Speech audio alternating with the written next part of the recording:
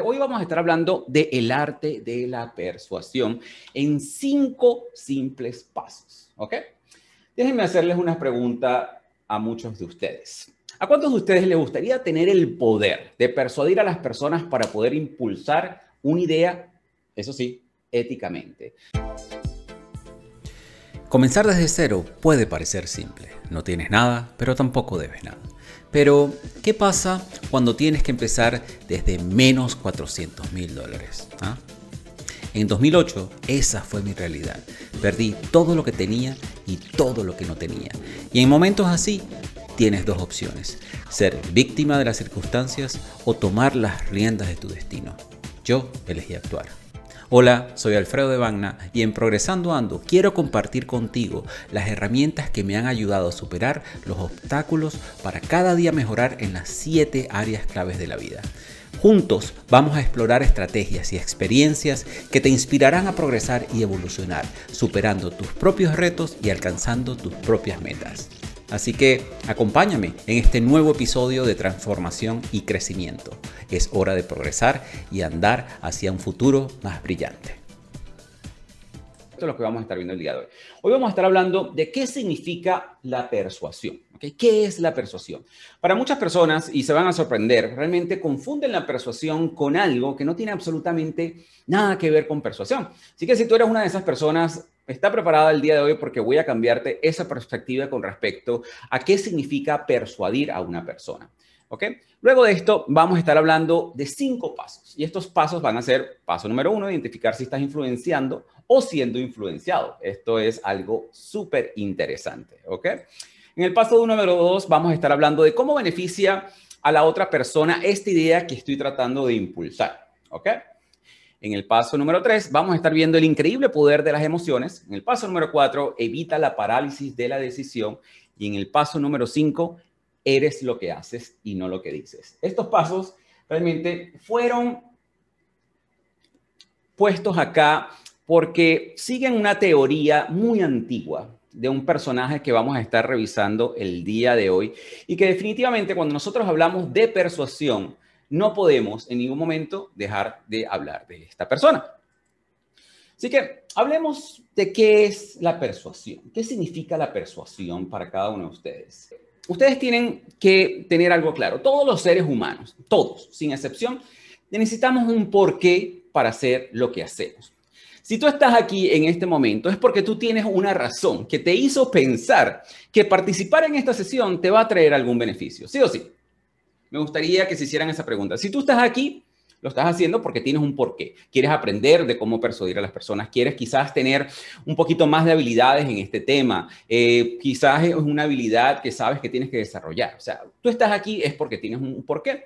Cuando nosotros intentamos convencer a alguien para que haga algo, estamos tratando de darle un porqué lo suficientemente grande, lo suficientemente poderoso para que esa persona haga algo. En ese momento, en ese preciso momento, nosotros estamos utilizando la persuasión, que en realidad se considera como una habilidad social que te permite a ti lograr o te permite a ti alcanzar algo. ¿A cuántos de ustedes les parece importante tener la habilidad de poder persuadir a las personas? ¿Ok? Persuadir. Ya vamos a hablar de otro tema que es interesante. ¿Ok? ¿A cuántos de ustedes?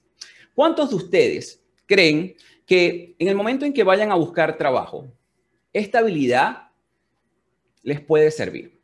Les puede servir para persuadir a la persona que los está entrevistando que ustedes son la persona correcta para ese puesto.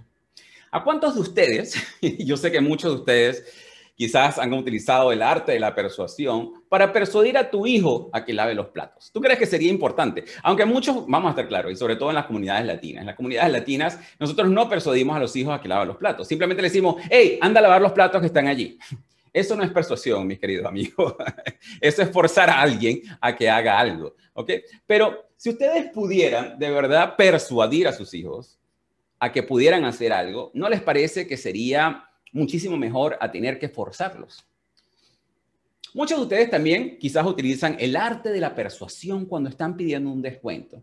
Mira, vale, lo que pasa es que tú sabes que la quincena en este momento ha estado un poco corta, ¿por qué no nos ayudamos aquí entre los dos? Este, y, bueno, eh, en vez de 50 me cobras 40.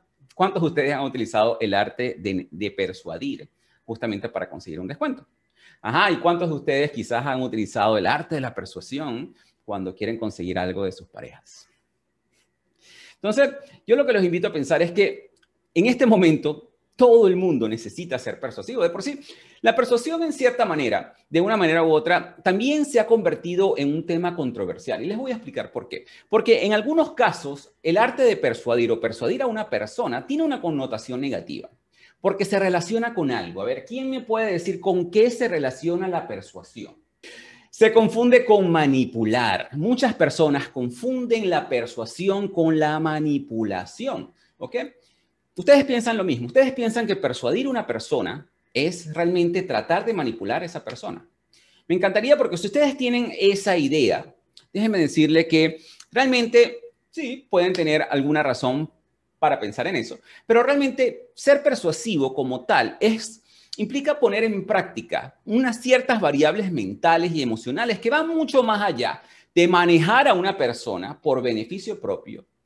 Que obviamente de la misma manera ser manipulador es también implica tener un grupo de variables mentales y emocionales, pero con un propósito totalmente diferente. ¿ok? Que a veces ese propósito no es con fines positivos. Y más adelante vamos a ver esa diferencia entre lo que es manipular y lo que es persuadir a una persona.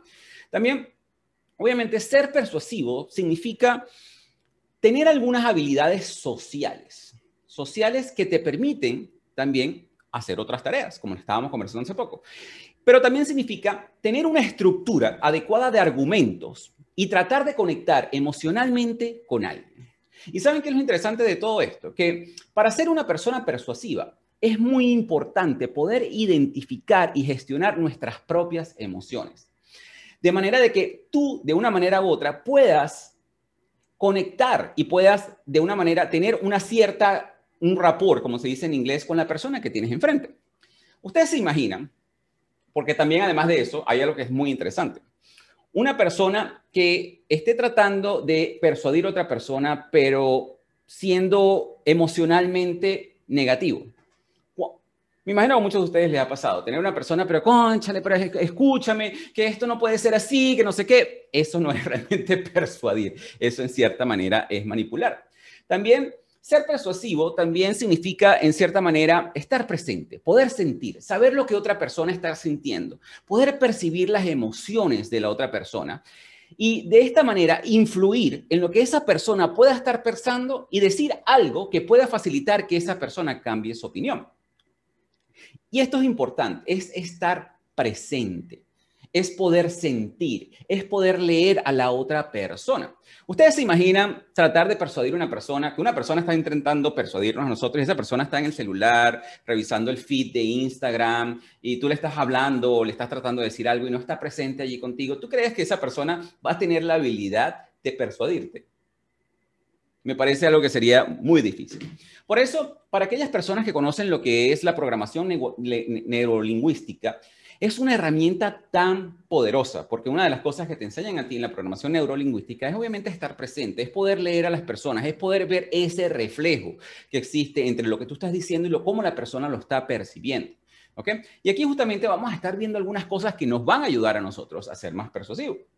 Otro mito que es bien importante quitar del camino con respecto a la persuasión es que la persuasión como tal solamente se utiliza para fines comerciales, para trabajar, para cerrar tratos, para vender. Y en realidad, la persuasión utilizada de manera constructiva se puede utilizar para mejorar la negociación en cualquier aspecto de nuestras vidas, para poder ayudar a, avanzar alguna idea. Y desarrollar esa, esa, esa habilidad en nuestras vidas realmente tiene una gran ventaja, una gran ventaja. Imagínense que ustedes puedan utilizar este mismo arte de la persuasión, pero ¿a cuántos de ustedes les parecería interesante realmente poder utilizar el arte de la persuasión para que te suban el sueldo, para que te den un trabajo, para mm, que tu hijo lave los platos, para negociar un descuento, para pedirle permiso a tus padres para salir? O bueno, o a tu esposa, ¿por qué no? Bueno, nunca sabe, uno no se mete en las relaciones de nadie. A lo mejor, mi amor, este, mira, me das permiso para salir con mis amigos y tomarme una cerveza. Imagínate que lo pudiera hacer utilizando el arte de la persuasión. ¿Ok? El objetivo justamente de la persuasión no es, no es, y estén claros en esta parte, que otra persona haga, haga algo que no quiere. Escuchen esto muy bien. El objetivo de la persuasión no es que otra persona haga algo que no quiere, sino algo que no se había planteado antes. ¿Ven cuál es la diferencia? La diferencia es que tú no estás tratando de manipular a una persona a que haga algo que esa persona realmente no quiere hacer, sino simplemente tú le estás planteando una idea que a lo mejor esa persona ni siquiera lo había pensado. Entonces, ¿por qué ustedes creen que para poder tener grandes habilidades en marketing, en mercadeo, tienes que saber persuadir? Justamente porque es una de las habilidades más importantes que se necesita. Es el negocio de persuadir. Ajá, y ustedes se preguntarán, ajá, Alfredo, pero Ay, ¿cómo se hace todo esto? Bueno, vamos a ver. Aquí hay una frase muy interesante que la dijo Aristóteles. Él, dice que la habilidad de exponer una idea es tan importante como la idea en sí misma. ¿Ok? La habilidad de exponer una idea es tan importante como la idea en sí misma. Y me gustaría que reflexionaran un poco con respecto a esto. Si la habilidad de exponer una idea es tan importante como la idea en sí misma, ¿Ustedes creen que sería interesante poder identificar cinco pasos que les permitan a ustedes mejorar este arte? Pero eso sí, es importante que ustedes entiendan que la base fundamental de la persuasión es utilizar un lenguaje claro y reforzar tus argumentos con pruebas, ¿ok? Porque si tus argumentos son débiles, sería muy difícil que tú consigas un cambio real de la persona, que la persona cambie su opinión. Y además de eso, algo que es muy interesante con respecto a, esto, es que si tú no tienes unos argumentos lo suficientemente fuertes, convincentes, y no estás haciendo alguna de las cosas que les vamos a estar enseñando acá, realmente esto puede, esto realmente puede salir como nosotros decimos aquí en Latinoamérica, te puede salir el tiro por la culata y en cierta manera puede contrarrestar tus esfuerzos de persuadir a una persona. Y si tus argumentos son débiles, tú lo que haces es que terminas reforzándole a la otra persona su posición inicial. Hay un fenómeno muy fuerte hoy en día, que esto a mí la verdad que me tiene súper sorprendido, que se llama el backfire effect. Backfire effect. Anótenlo bien, ¿ok? Y esto nosotros lo podemos ver en práctica con temas que generan controversia. Y ahorita hay muchos ejemplos de estos temas que generan controversia, sobre todo, y ese efecto como tal sucede cuando una persona se resiste a aceptar pruebas que entran en conflicto con sus propias creencias. Y en realidad, ¿qué es lo que sucede? En ese momento causan el efecto contrario. Cuando tú le estás tratando de dar una prueba a una persona que va en contra de sus creencias, eso hace que sus creencias se reafirmen y adopten posturas incluso más extremas. Por eso es que se dice que son temas que son súper controversiales porque en realidad las personas, no importa qué tantas pruebas tú les des, esas personas terminan reafirmando lo que ellos pensaban en un principio. Porque el arte de persuadir a una persona es poder ofrecerle a esa persona los suficientes argumentos para que esa persona quede convencida con respecto a un tema en específico. Mientras que la manipulación, en realidad, es sesgar, esconder, dejar de presentar información relevante o presentar información de una manera un poco equilibrada, muy poco equilibrada, para poder favorecer un punto en específico bien sea una empresa, una ideología, un interés en específico. Están viendo la gran diferencia. Porque si tú realmente quieres persuadir a una persona, quieres convencer a una persona a que haga algo, ¿ok? Tú lo puedes hacer a través del arte de la persuasión o lo puedes manipular. Si tú sabes que en realidad eso que la persona, tú quieres que la persona logre, la persona haga, no está en sus mejores intereses. Entonces, por eso es que es bien interesante que ustedes entiendan la diferencia. Y esta es una de las razones por las cuales yo hago lo que hago. Porque yo trato de darles a ustedes los argumentos necesarios y suficientes para que ustedes puedan tomar sus propias decisiones. En el momento en que cualquier empresa, en el momento en que un gobierno, en el momento en, cualquier, en que, que cualquier persona está tratando de ocultar cierta información para que ustedes tomen una decisión que lo favorezca a ellos, en ese momento se llama manipulación. Y en ese momento ustedes tienen que empezar a cuestionar por qué se está ¿Por qué está pasando eso? ¿Ok? En el paso número uno, como ustedes, como habíamos conversado anteriormente, es identificar si estás siendo influenciado o tú estás influenciando. ¿Ok? Ajá. Para esto, tenemos que ver algo que es muy interesante y es el hecho de que tenemos que hacer una pregunta. En el mundo animal hay un dicho que es muy famoso. En el mundo animal hay un dicho que dice comer o ser comido.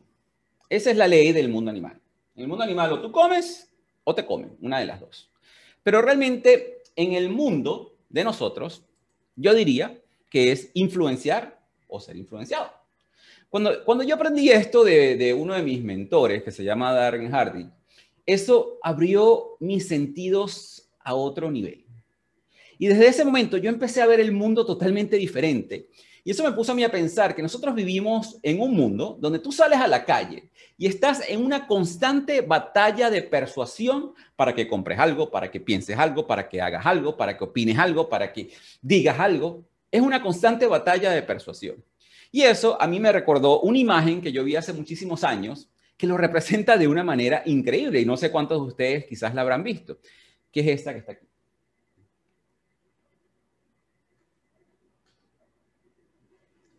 En esta imagen nosotros podemos ver cómo esta publicidad que aparece en una calle principal, y esta creo que es la quinta avenida de Nueva York, nos muestra cómo cada diferente publicidad tiene un mensaje por detrás, que es consumir, no, no estés despierto, compra, confórmate, ve televisión. Si ustedes tratan de traducir un poco lo que dice cada mensaje de cada publicidad que ustedes ven en la calle. Más o menos se traduce a eso que acabamos de ver en pantalla. Compra, vende, no eres suficiente, eh, haz esto, cree esto, piensa esto, opina esto, constantemente. Por eso que yo digo, nos las pasamos en una constante guerra de persuasión. Y una manera en que lo describe mi mentor es que si tú ves todas las cosas materiales que tienes a tu alrededor, o sea, si tú ves, por ejemplo, tu teléfono, o si ves, qué sé yo, por ejemplo, esta chaqueta que cargo yo, el micrófono que tengo, los zapatos que tienes puestos, la computadora en la que estás viendo este, este, e, esta sesión participativa, la marca del televisor con el cual estás viendo tus programas, si utilizas Netflix, en realidad todas esas cosas todas esas cosas. Se pueden considerar trofeos de guerra de esas empresas por haber ganado el juego de la influencia. En cierta manera, nosotros podemos pensar que estamos rodeados de personas que están constantemente tratando de llevarnos en una dirección, tratando de llevarnos en otra dirección. Y esto lo podemos ver muchísimo en las redes sociales, lo podemos ver en un comercial de televisión, lo podemos ver en un, en un anuncio de supermercado cuando sale la señora en el supermercado y dice, atención compradores, les informamos que tenemos una oferta en productos de limpieza en el pasillo número 5 con un descuento del 50%. ¿Ustedes creen que en ese momento están siendo influenciados? Yo diría que sí. O también puede ser cuando llegas a tu casa, resulta que esta solicitud viene de tu hijo. Papá, por favor, ¿me puedes llevar al parque? O de tu pareja. Eh, mi amor, este, hay que pintar el techo. o sea, de cierta manera, estás constantemente bombardeado por ideas, por pensamientos, Después de yo haber aprendido esto de Darren Hardy, hay un ejercicio que me llamó muchísimo la atención que, él menciona en, en esta capacitación que yo tomé con él, que es contar cuántas veces una persona, directa o indirectamente, trata de influenciar, controlar, tentar, hacer un cambio de opinión o de comportamiento. Y esto obviamente tiene que incluir a todas esas personas que están en la calle pidiéndote que compres algo o diciéndote que pienses de una manera o opines de otra manera o traten de forzarte a ir a algún lado o pensar de una manera o tratando de sugestionar una idea en, tu cabeza o de repetir una canción, una frase constantemente, tratar de cambiar una ideología o aceptar algo que debería ser totalmente inaceptable. Y esto este ejercicio hacerlo, pero sin ver noticias y televisión, porque eso sí, si ustedes ven noticias y televisión, este número se multiplicaría al mil por ciento totalmente. Cuando te pones a contar cada una de esas cosas, te aseguro que por ahí a mediodía, si no llegas a perder la cuenta, obviamente, vas a tener casi mil intentos de persuasión mil intentos de, de, de, influenciarte. De por sí, hay estudios que dicen que las personas reciben miles y miles y miles de solicitudes de persuasión por día, para que ustedes vean. Por ejemplo, cuando tú estás en el trabajo por ocho horas, tú estás constantemente recibiendo intentos de persuasión de todos tus compañeros de tu trabajo. Hey, Angélica, por favor, necesito que, ¿sabes qué? Eh, contactar a esta persona que, que, hizo esta, este programa sería beneficioso para nosotros. Eso es persuadirlo, persuadirla a ella que haga algo. O cuando estás eh, con tus jefes, o cuando tú llegas a tu casa y tu pareja y tus vecinos, tus hijos, están buscando la manera de que tú hagas algo. Todo, estás constantemente en esa batalla de influencia. Entonces, si tú lo ves desde ese punto de vista, sería interesante pensar que nosotros vivimos, que nuestra sociedad en general es un cúmulo de personas que están tratando de, de, persuadirte, de influenciarte, de forzarte, de manipularte, de controlarte, de tratar de hacerte sentir culpable por algo, unos a los otros, para poder conseguir ciertos beneficios. ¿Ok? Por eso es que es tan importante este ejercicio, es eh, estar constantemente alerta. ¿Estoy influenciando o estoy siendo influenciado? Y para que tú puedas navegar este mar de la sociedad efectivamente, obviamente vas a tener que aprender a identificar esto. Y más cuando estás siendo influenciado y vas a tener que convertirte en un mejor influenciador, vas a tener que mejorar esa arte de persuasión. Y los próximos cuatro pasos te van a llevar justamente a hacer eso. Seguimos en el paso número dos. ¿Cómo beneficia a la otra persona esta idea que estoy tratando de impulsar? Hay algo que es muy importante que ustedes tienen que mantener en cuenta. Para poder hablar de persuasión, no podemos ignorar a Aristóteles. Ustedes preguntarán, pero, ay, pero ¿qué tiene que ver Aristóteles con todo esto? Bueno, se sorprendería. Aristóteles dice que ninguna gran mente ha existido jamás sin un toque de locura. ¿Ok? Y en base a eso, él diseñó lo que son los tres pilares de la persuasión.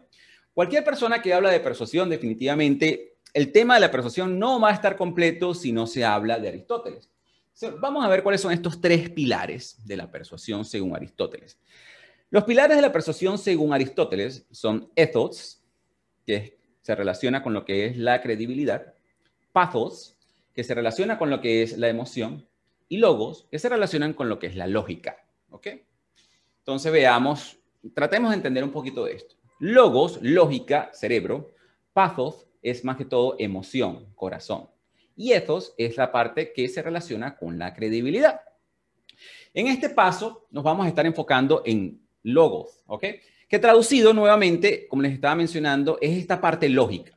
Y esta es la primera forma de persuasión, que es tratar de convencer a las personas a través de la lógica y del razonamiento. ¿Ok? En otras palabras, lo que nosotros estamos tratando de hacer aquí es apelar al cerebro, a la parte lógica, a la parte razonable de cada persona. La persuasión es facilitar que las otras personas lleguen a su propia conclusión lógica que por coincidencia compartimos. ¿Ok? La persuasión se trata de comunicar efectivamente y buscar obtener resultados más positivos para todas las personas involucradas. Y fíjense, esto me parece a mí súper interesante porque a veces nosotros tomamos esta práctica de utilizar esta parte de, la persuasión, el logo, utilizar la lógica para poder persuadir a una persona a hacer algo. Hace unos años me encontraba yo en, una discoteca y estábamos un, grupo grande de amigos, éramos como, qué sé yo, 15 personas.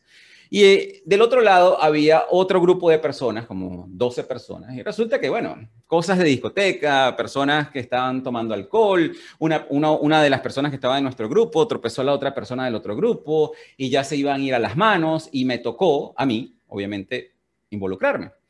Entonces me tocó, obviamente, primero razonar con la persona de nuestro grupo. Yo le decía, hey, mira, tenemos que tener mucho cuidado, estamos aquí en Panamá, aquí en Panamá, si se forma eh, una golpiza, vas a terminar, puedes terminar preso y no sabes las consecuencias que esto te va a traer para tu vida, y además era turista y te pueden deportar, y empecé a razonar con esa persona. Y lo mismo hice con la otra persona, que la otra persona sucedía que era uno de los dueños de la discoteca. Y yo le decía, mira, pero estas personas son turistas, o vamos a tratar de controlar esto, de que sea beneficioso para todos, porque si, si no, imagínate la imagen que vas a terminar dándole a tu discoteca. Es utilizando la lógica, ¿ok? En Logos, lo que nosotros hacemos es utilizar la lógica y el razonamiento para poder persuadir a otras personas a que vean algo específico de una manera nueva o diferente. Por ejemplo, ustedes podrían ver en nuestro mensaje de líderes del progreso, nosotros empezamos diciéndole a las personas, ¿te ha pasado que de repente abras los ojos y después de una noche larga sin dormir, lo primero que te preguntas es, ¿y ahora qué hago? O mientras te tomas el café, lo único que piensas es cómo hago para resolver esta situación. ¿Tú crees que la educación académica te da las herramientas necesarias para enfrentar la vida? ¿Estás de acuerdo que nosotros somos el promedio de las cinco personas que nosotros frecuentamos? Y fíjense que en este caso, nosotros no estamos tratando de colocar pensamientos en la mente de las personas. Nosotros estamos tratando de que cada persona llegue a su propia conclusión en algo que obviamente nosotros compartimos. otro ejemplo es, tú piensas que si tuvieras acceso a sesiones participativas que te impulsen a crear una mente de resolución de problemas, eso podría mejorar tu vida. Si tú pudieras aprender diferentes estrategias en diferentes áreas de la vida que la educación académica omitió, ¿cómo sería tu vida? ¿Cómo sería la vida para tu familia? Esto es justamente lo que nosotros tratamos de hacer utilizando logos, utilizando la parte lógica de las personas para que ellos puedan llegar a sus propias conclusiones de, los beneficios de estar en una comunidad como esta. Logos, para que ustedes tengan una idea, funciona mucho mejor en conversaciones de uno a uno, funciona mucho mejor en pequeños grupos o también funciona mucho mejor por escrito, que es donde tú puedes enfocar tu comunicación un tema a la vez y puedes guiar a las personas a que esas personas hagan una serie de acuerdos. De nuevo, la diferencia entre persuasión y manipulación es la intención que hay detrás. De nuevo, repito, la diferencia entre persuasión y manipulación es la intención que hay detrás. Persuasión es con la intención de obtener un beneficio mutuo. Manipulación es tratar de que una persona haga algo que realmente no quiere hacer. Entonces, tomando esto en consideración, la mejor manera de poder crear argumentos lógicos para tus conversaciones o para tus escritos es enfocarte en los beneficios que la otra persona puede obtener. Porque en ese momento estás apelando a su razonamiento para decir, oye, ¿verdad? Esto me podría beneficiar. ¿Ok? Y cuando estés tratando de persuadir a una persona utilizando logos, aquí lo que sí tienes que hacer es hacerte una pregunta. Y es una pregunta muy sencilla. ¿Por qué esta persona quisiera hacer esto que yo le estoy proponiendo? ¿En qué le beneficia? ¿Qué hay para esa persona? Cuando nosotros nos hacemos esta pregunta, realmente aquí podemos generar una gran cantidad de argumentos que nos van a permitir a persuadir a esa persona. Por ejemplo, si estás con tu hijo y tú no quieres que tu, que tu hijo, por ejemplo, le meta los dedos al enchufe. ¿Cómo podrías tú persuadir a tu hijo? sí, le puedes meter cuatro gritos. ¡Eh, muchacho, tú estás loco! ¿Cómo le vas a meter el dedo al enchufe? No. O le puedes decir, mira, si tú hicieras esto, eso puede tener unas consecuencias fatales para ti, al punto que te podrías morir porque resulta que la energía eléctrica tiene una consecuencia sobre el cuerpo y se lo explicas lógicamente. ¿Tú crees que tu hijo entendería? Y justamente de eso se trata la persuasión. Cuando tú quieres que una persona haga algo, es explicarle los beneficios o también las consecuencias de no hacer algo o de hacer algo. Entonces, cuando nosotros nos preven, algo que nos previene a nosotros justamente en embarcarnos en una conversación y ahí es cuando dejamos de ser influentes, es cuando nosotros nos centramos, y esto lo hace la mayoría de las personas, cuando nosotros nos centramos simplemente en nuestros deseos. ¿Por qué es importante para mí que tú hagas esto? Mira, para mí es importante para que tú no le metes los dedos al enchufe porque yo me voy a poner triste. En la mayoría de los casos a las personas no les importa el beneficio que vaya a tener para ti. En la mayoría de los casos a las personas les importa el beneficio que va a tener para ellos. Y la mayoría de las personas, la mayoría de las empresas, el mayor error que cometen es tratar de, vender los beneficios para ellos mismos. ¿Qué, tan importante es para mí? Bueno, nosotros somos Progrivo y somos la mejor empresa del mundo de desarrollo personal. Eso no le importa a la gente. Lo que le importa a la gente es cómo, si al relacionarme yo con Progrivo, ¿en qué me beneficia? ¿En qué me beneficia a mí unirme a la, Academia del Progreso? ¿En qué me beneficia a mí liderar, eh, eh, ponerme en la comunidad de líderes del progreso? Entonces, esto es muy importante que lo tomen en consideración. ¿ok? Que cuando ustedes vayan a tratar de persuadir a una persona, siempre lo hagan desde el punto de vista del beneficio de la persona y no del punto de vista de ustedes. ¿Ok? Ok, seguimos con el paso número tres. Paso número tres, el increíble poder de las emociones. Aristóteles nos dice, educar a la mente sin educar el corazón no es educar en absoluto.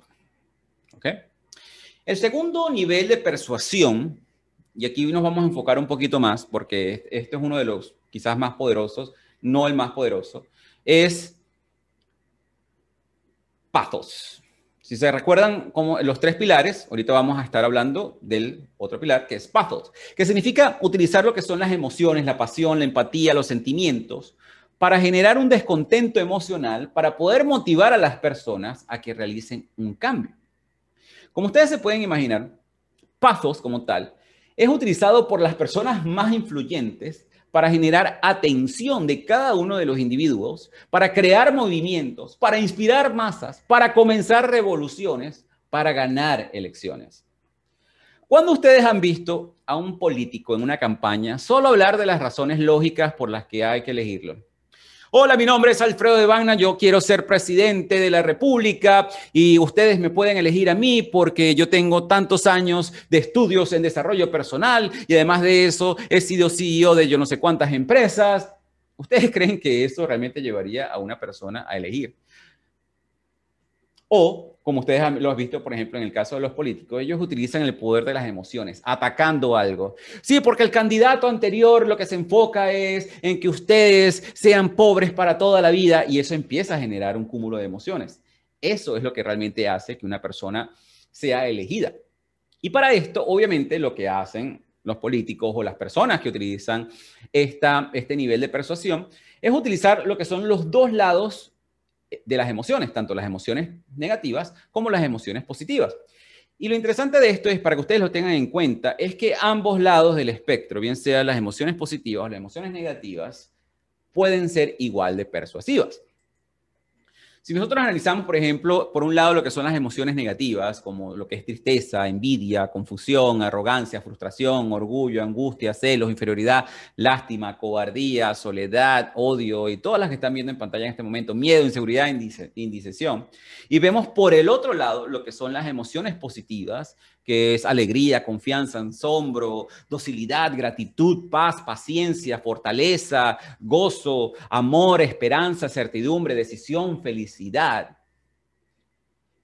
Cuando nosotros utilizamos estas emociones, porque les voy a decir algo, algo que, algo, que a mí me quedó muy marcado en, en el marketing hace años, cuando yo estaba haciendo un curso de mercadeo con Darren, es una pregunta que él, que nos hizo a todos nosotros. Y me gustaría que ustedes me dieran la respuesta acá. ¿ok? ¿Qué porcentaje de los seres humanos son emocionales y qué porcentaje de los seres humanos son lógicos o racionales? Ok, bueno, les voy a dar la respuesta. En realidad nosotros somos 100% emocionales. 100% emocionales. De por sí, hay una frase muy interesante de Antonio Damasio, que él es un neurólogo, que él dice que un cerebro incapaz de sentir es un cerebro incapaz de decidir. ¿Ok? Y déjeme contarle, y él, él llegó a esta conclusión en el momento en que conoció a Elliot. Y les voy a contar un poquito acerca de Elliot. Elliot era una persona que era un excelente trabajador. ¿ok? Era un marido, ejemplar, un padre modélico, era un ciudadano comprometido y que después de que a Elliot le estriparan un tumor cerebral, él comenzó a mostrar un comportamiento realmente un poco extraño. Él empezó a tener la necesidad de analizar todo constantemente, cada uno de los detalles de su vida cotidiana, hasta que esas cosas que eran totalmente irrelevantes para él. Por ejemplo, si él tenía que firmar un documento, él, Elliot lo que hacía es que estudiaba, mira, hasta la extonación de la posibilidad del bolígrafo que iba, a utilizar. Él decía, bueno, ¿qué voy a hacer? ¿Voy a utilizar un bolígrafo negro o un bolígrafo azul? ¿O será que utilizo un bolígrafo rojo? ¿Ok? Antes de él salir a comprar comida, él realmente lo que hacía era que iba como siete restaurantes y veía minuciosamente cada una de las cartas, los veía unas y otra vez. Y él podía simplemente al llegar al restaurante buscar entre todo el restaurante, ver cuál era la mejor mesa para él poder sentarse. En base quizás a la iluminación o qué tan lejos estaba de la cocina, la distancia de la entrada. Imagínense, para poder cerrar una cita con el médico, él podía pasar más de media hora hablando de todas las citas previas. Ajá, yo hice las, próximas, las citas próximas de, de, las condiciones climáticas. ¿Será que, bueno, cuando yo vaya a tener la cita con el médico el miércoles 25 de agosto, va a estar soleado o va a estar lluvioso? Y lo hacía siempre comparando todas las opciones y previniendo todas las consecuencias que puedan pasar de haber tomado una decisión hasta el punto que obviamente le hacía perder la paciencia a cualquiera. Ustedes imagínense tratando de, estar con alguien que lo analiza, todo. ¿Será que me pongo el azul? Porque el azul con el día del sol, eh, con el día como está soleado el día de hoy, me va a complementar más porque con las nubes, imagínense esa locura, ¿ok? Su vida se había vuelto tan ridícula y tristemente algo que había sido bien trágico porque ese comportamiento en realidad le arruinó la vida por completo. O sea, Elliot perdió el empleo, fracasó en los negocios, y él se presentó justamente en la consulta de este neurólogo que les acabo de comentar, que se llama Antonio Damasio, que justamente gracias a él que, que, se conoció este caso con respecto a Elliot. Y, y se convirtió para Antonio en un estudio muy apasionado. Él tenía que ver qué es lo que estaba pasando con Elliot, por qué Elliot se había convertido tan lógico. Entonces, él estudió a Elliot y él advirtió o sea, él, hizo todos sus estudios y se dio cuenta de que ya va, pero es que Helio tiene un IQ bastante alto, o sea, Helio es inteligente, ¿ok? Y que en realidad la intervención quirúrgica como tal, el hecho que le hayan estirpado el, el tumor, no había afectado su inteligencia cognitiva, no había afectado su, su conciencia intelectual. Él seguía siendo una persona muy inteligente, pero algo que había cambiado drásticamente su vida era que Elliot era incapaz de sentir ninguna emoción. Ni siquiera en nada de lo que le estaba sucediendo en su vida. Imagínense. Entonces, aquí es donde Antonio se dio cuenta que una persona que no puede sentir una emoción es incapaz de tomar una decisión. Imagínense, de todo este estudio salió eso. Una persona que es incapaz de sentir una emoción es incapaz de tomar una decisión. ¿Ok? De por sí, el ser humano ideal si tú le quitas todas las emociones, que muchos filósofos decían en algún momento, pero ya va, pero es que el ser humano emocional, eso es muy complicado, eso es lo que causa las guerras por las emociones. Pero después de este estudio de Antonio, se dieron cuenta que en realidad ese ser humano ideal sin emociones sería un completo idiota incapaz de hacer cualquier cosa. Entonces yo les pregunto a ustedes, en base a esta historia, ¿ustedes creen que es importante generar emociones a la hora de persuadir? ¿Ustedes creen que es importante conectar emocionalmente con una persona a la hora de persuadir? Porque como si ustedes se acaban de dar cuenta, si nosotros somos 100% lógicos, ¿creen ustedes que sería importante tener esa habilidad? Pues vean, vean este punto de vista. Nosotros como seres humanos tomamos, tomamos las decisiones 100% a nivel emocional y luego lo que hacemos es que racionalmente lo explicamos en nuestra cabeza, lo excusamos o lo justificamos me voy a comprar esos zapatos rojos, pero no me alcanza para la quincena, pero ¿sabes qué? Es que yo me lo merezco, es que yo me lo merezco, porque la quincena pasada no compré nada para mí. Entonces, yo, yo siento que, bueno, no importa, esta quincena voy a quedar un poco más corta, pero igualito me puedo comprar los zapatos rojos, porque es que, mira, están en oferta, están en oferta. O sea, que yo, ¿cómo me voy a perder yo esa oferta, por favor? Entonces, fíjense que nosotros tomamos las decisiones totalmente emocionales. Así que independientemente de que una persona utilice emociones negativas o emociones positivas para persuadir, ustedes pueden darse cuenta que ambas son poderosas. Y podemos ver grandes ejemplos de la historia. Porque ustedes creen, para las personas como yo, como para los venezolanos, que Hugo Chávez llegó al poder. Porque ustedes, porque ustedes creen que Fidel Castro llegó al poder. O porque el Che hizo lo que hizo. O vamos más allá, ¿por qué Hitler llegó a donde estaba? Porque él utilizaba el poder de las emociones para que las personas se conectaran con lo que él estaba tratando de hacer. Pero también, ok, esto es a nivel negativo, pero hablemos a nivel positivo. ¿Por qué ustedes creen que Gandhi tuvo un impacto tan positivo en el mundo? O Martin Luther King. O la Madre, Teresa de, de Calcuta. O para los que conocen, la princesa Diana. La princesa Diana generó un cúmulo de emociones en las personas. Todavía lo hace. Entonces, si nosotros vemos con todo esto que está pasando, con todo esto de la pandemia, y aquí va a pasar otra vez el, cartelito, visita el Centro de Recursos de la Organización Mundial de la Salud, con todo esto del tema de la vacuna, ¿qué creen ustedes que los medios de comunicación, los gobiernos, las diferentes personas están utilizando. ¿Qué emoción? De esta que, les acabo de mostrar en pantalla. Están utilizando el amor, la confianza, la seguridad, o están utilizando el miedo, la angustia, el egoísmo, la desesperación. Piensen eso un poco, ¿ok? Entonces, pero ahora, ustedes se preguntarán, ajá, ah, entonces ahora yo para persuadir, ¿qué debo utilizar? ¿Emociones positivas o emociones negativas? Bueno, les hago una pregunta. Recuerden, para las personas que han hecho el reto del agradecimiento, recuerden la ley de la atracción, ¿qué pasa si generas emociones positivas? Atraes emociones positivas. ¿Y qué pasa si generas emociones negativas? Vas a atraer emociones negativas. Entonces, ¿cómo nosotros podríamos utilizar todas estas emociones para persuadir? O sea, lo, lo primero y lo fundamental que ustedes necesitan a ver, ¿quién quiere saber qué necesitan ustedes para poder conectar a nivel emocional? ¿Qué es lo primero? ¿Qué se imaginan ustedes que es lo primero que tenemos que hacer nosotros para poder persuadir a una persona a nivel emocional? Lo primero que se necesita para ser emocional es que tú tienes que ser emocional. Tú tienes que ser abierto, tú tienes que ser vulnerable, tú tienes que revelar cómo te sientas con respecto con un tema ustedes no se dan cuenta de la pasión que tengo cada vez que hablo acerca de la pandemia, de las vacunas y esas cosas. o de la pasión que tengo a la hora de hablarles con respecto acerca de un tema. ¿Ok? Y cuando tú lo haces de una manera emocional, si tú estás hablando de un tema, por ejemplo, algo te dio muchísima rabia y tú quieres que esa persona se conecte emocionalmente contigo, tienes que mostrar que te dio rabia. No decir, no, bueno, la otra vez estaba molesto porque resulta que eh, estaba en la cola. No, eso no funcionaría, tendrías que decirlo emocionalmente. Entonces, la otra manera que definitivamente tú puedes hacer, que puedes hacer que las personas se conecten contigo emocionalmente, y esto es una herramienta súper útil, es el poder de las historias. Los seres humanos estamos cableados a que nos cuenten historias, desde que estaban en las cavernas.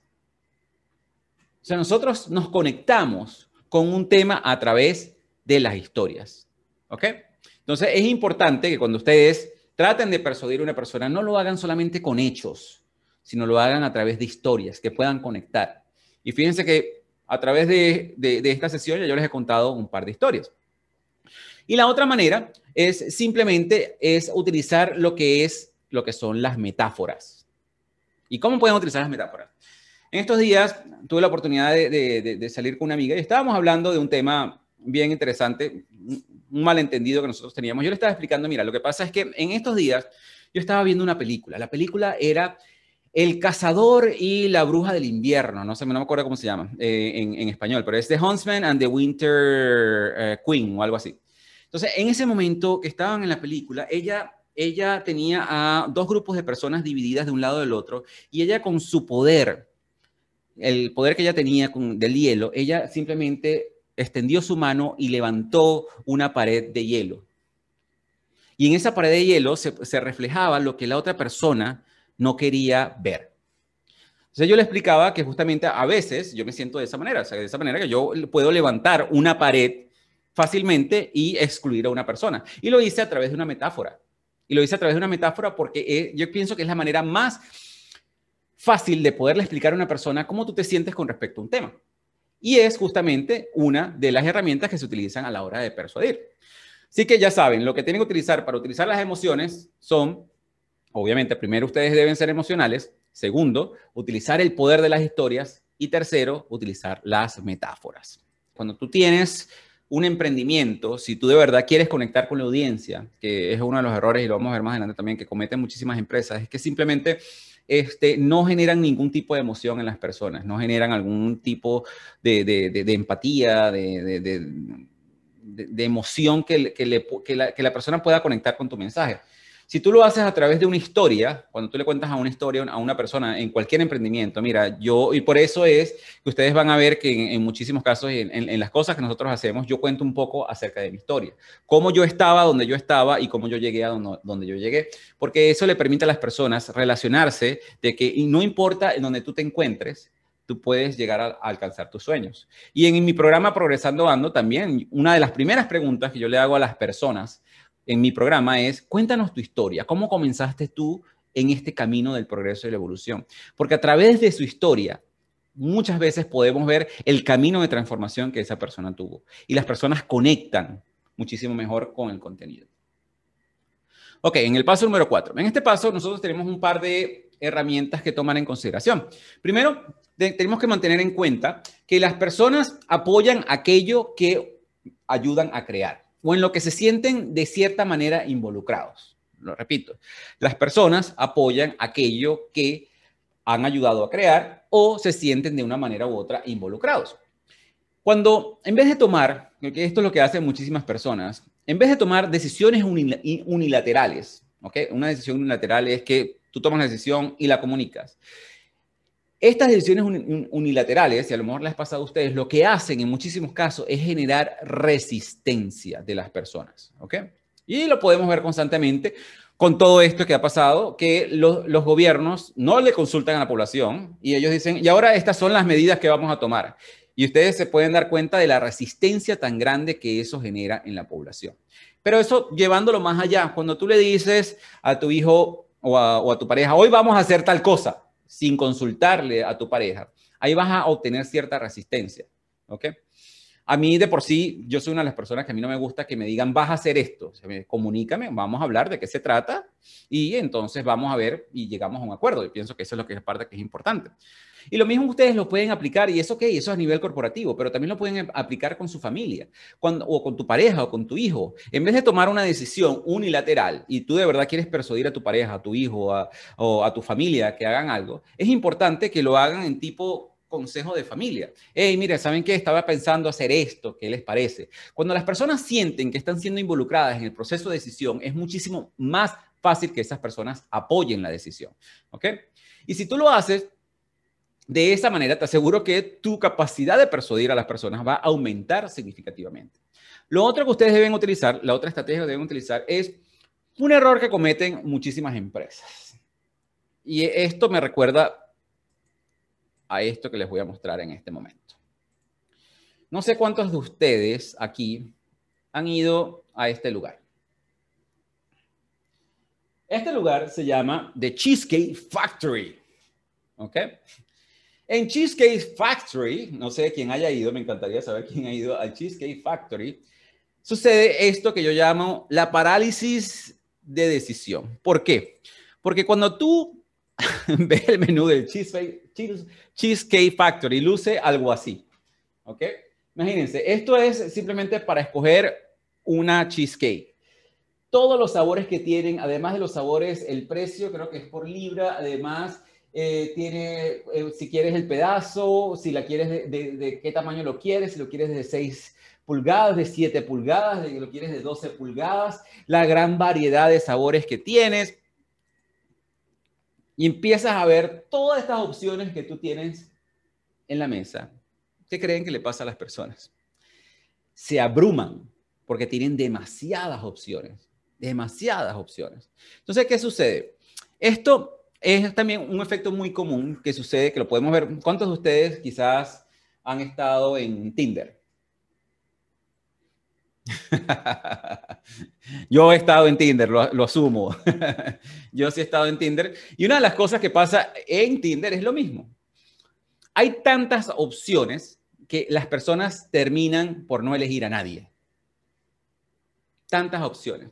Esa es una de las razones por las cuales los restaurantes gourmet tienen mejor recepción porque ellos ofrecen tres opciones. Mira, el appetizer o la entrada tenemos dos.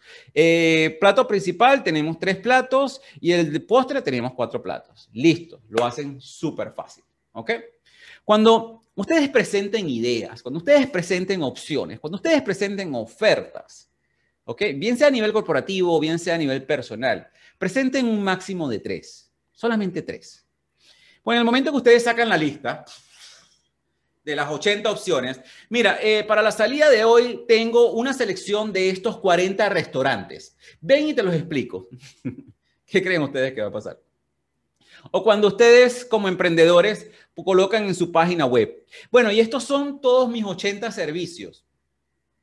¿Qué creen ustedes que va a pasar? Cuando nosotros ofrecemos tantas opciones, confundimos a las personas, la gente se frustra y además se paraliza. Hay un principio de mercadeo muy importante que nosotros utilizamos que dice que una mente confundida siempre va a decir que no. Una mente confundida siempre va a decir que no. Entonces, si nosotros ofrecemos menos opciones, lo que hacemos es que removemos la confusión y la frustración. Y esto lo hace muchísimo lo que son los agentes de bienes raíces. Esto es una estrategia para aquellos que les gustan estos shows de televisión donde las personas están buscando propiedades. Pueden ver esta estrategia siendo utilizada allí.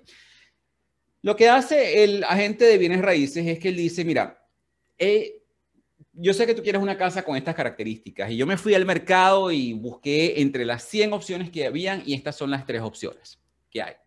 Y ellos lo que hacen es, primero, le ofrecen a la persona la opción más cara y la que sea menos atractiva. Mira, esto es lo que hay en el mercado. Yo sé que tenías un presupuesto de 180 mil, pero mira, tenemos esta que está en 200 mil, no está en el lugar tan perfecto que tú quieres, pero bueno, tiene estas cosas, estas cosas, estas cosas. Después agarran y le presentan la opción menos atractiva. La opción menos atractiva es, mira, esta casa sí está dentro de tu presupuesto, pero quizás no está en una zona que, que tú deseas y le falta estas cosas que tú crees que tú necesitas. Y luego la, tercera opción que le presentan a la persona es la opción más viable. En ese momento, lo que tú generas es, eso es lo que se llama la ley del contraste. La del, del, contraste. Que tú ves, wow, esto es algo que se va de mi presupuesto, algo que quizás no, no, no me conecta, esta es la mejor opción.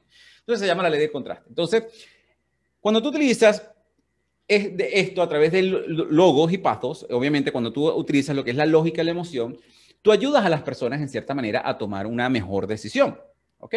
Y no se trata de, en realidad, de manipular a la persona, sino simplemente, y esta es la otra parte que es importante, tú le estás ofreciendo un contexto a las personas para que las personas puedan tomar una mejor decisión. Por ejemplo, si tú quieres ir a un restaurante en específico, que tú sabes que ese restaurante es uno de los mejores de la ciudad, tú puedes mostrar el restaurante más caro, mira, ten este, este restaurante que es el más caro, muestras este restaurante que sería el ideal y luego muestras y tenemos el, el carrito de hamburguesa. o sea, tú decides por dónde creen ustedes que las personas van a escoger.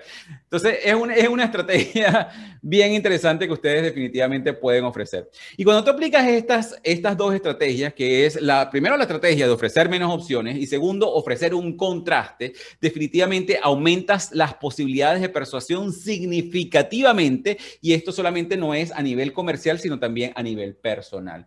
Y definitivamente que las personas aprecian cuando tú te has tomado el trabajo de hacerlo más simple para las personas. una de las cosas que a mí más me gusta cuando yo trabajo con mi equipo es que ellos ya han hecho la investigación y me quitan a mí ese, esa necesidad de yo tener que hacer la investigación entre 40 cosas que tengamos que hacer. ¿Ok? Eso lo hace muchísimo más fácil. Paso número 5. Eres lo que haces y no lo que dices. ¿Qué significa esto? Este es el último nivel de persuasión. Como ustedes recuerdan, nosotros habíamos revisado tres pilares. Logos, pathos, y ahorita vamos a hablar con, vamos a estar hablando del último pilar de persuasión, que es ethos, ¿ok? Entonces, este paso se relaciona muchísimo con lo que es credibilidad y ética. ¿Qué quiere decir esto? Veamos. Ethos, en este último pilar, requiere integridad, requiere carácter, requiere palabra, requiere consistencia. Las personas que realmente tienen estas características son personas que son ejemplos claros de todos sus argumentos. ¿Ok?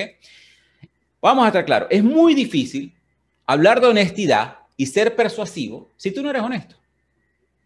Ustedes se imaginan, por favor, a un político tratando de darnos a nosotros una clase magistral acerca de honestidad. Bueno, sí hay políticos honestos, pero los que ya sabemos que han metido las manos donde no deben, tratando de darnos una clase a nosotros de honestidad. O también es muy difícil hablar de amor y ser persuasivo cuando tú te la pasas jugando con los sentimientos de las demás personas. ¿Cómo tú puedes hablar de amor si tú te la pasas manipulando y jugando con los sentimientos de otras personas? Entonces, en este pilar, estas personas no solamente dicen lo que creen, sino que son un vivo ejemplo de lo que creen y hacen lo que creen. y sus argumentos están totalmente respaldados por sus acciones. A ver, ¿cuántos de ustedes han escuchado este famoso dicho que muchos de nuestros padres decían? Que yo creo que ahorita con esta nueva manera de educar a los hijos ya casi no se escucha, pero en, mis tiempos los padres decían, no hagas lo que hago, haz lo que digo. ¿Cuántos de ustedes llegaron a escuchar ese dicho? No hagas lo que hago, haz lo que digo. Y aquí les quiero compartir algo porque esto es muy importante para aquellas personas que son padres, ¿ok? Y esto ustedes se dirán, pero bueno, ¿qué tiene que ver esto con esto de persuasión? Tiene que ver muchísimo, tiene que ver muchísimo. Esto es una pauta para los padres que yo conseguí que realmente representa este, este punto significativamente.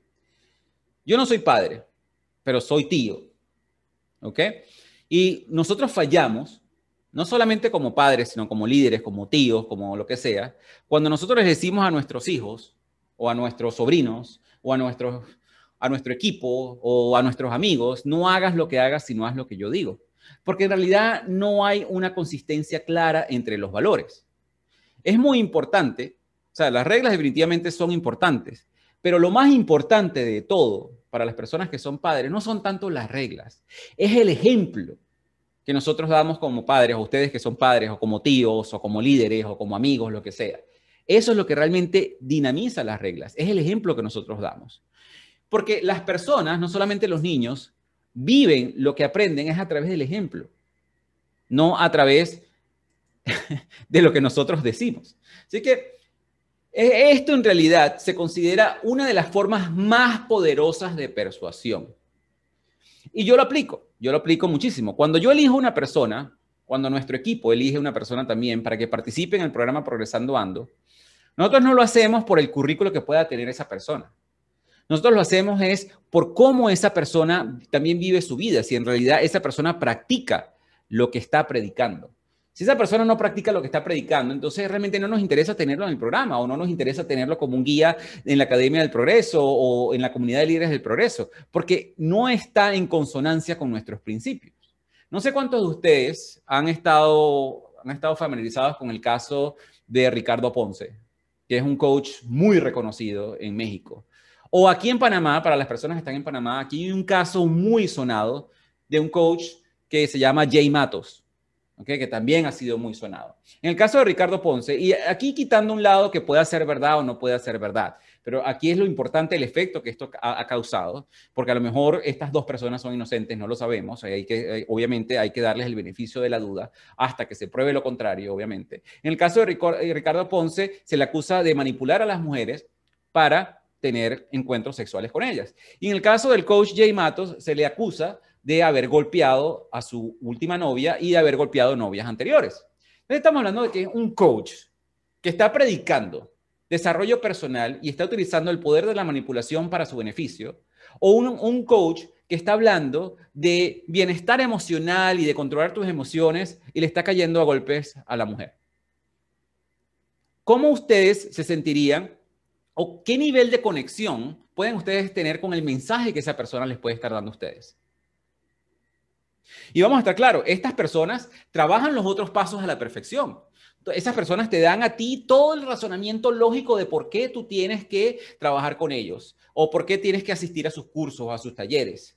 Y te generan las emociones suficientes para que tú vayas a sus talleres y para que tú vayas a sus cursos. Y sí, yo aprecio a las personas que quizás le han dado el beneficio de la duda, pero hay otras personas que definitivamente no le han dado el beneficio de la duda. Pero ustedes en realidad, en el caso de estas personas, se sentirían persuadidos por las acciones de estas personas. Y esto es algo que para mí es importantísimo. Para mí es importantísimo. Yo no hago o digo algo que no practico. Para mí es muy importante mantener esa congruencia en mi vida.